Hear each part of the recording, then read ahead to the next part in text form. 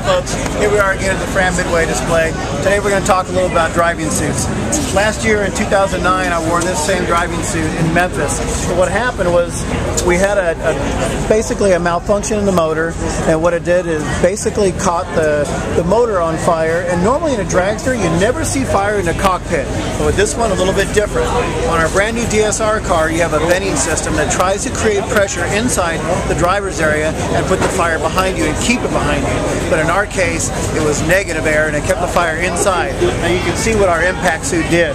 It discolored very much like it would if you were driving a funny car.